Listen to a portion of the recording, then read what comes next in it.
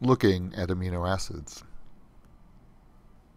The amino acid viewer, which you can access yourself by following the link in the Biofundamentals text, lets you quickly look at each of the biologically important amino acids, presenting the structure of their R groups and their one letter symbols.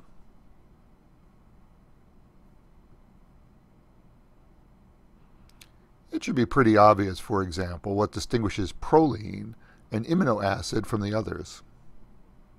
Similarly, you can get a rough idea of the size and physicochemical properties of the various R groups, ranging from glycine the smallest through arginine, lysine, and histidine.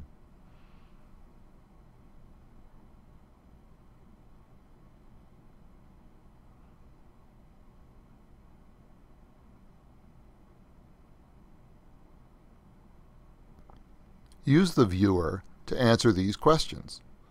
Which amino acid does not have an asymmetrical carbon atom? And identify amino acids with hydrophobic and hydrophilic R groups and explain the reasons for your choices.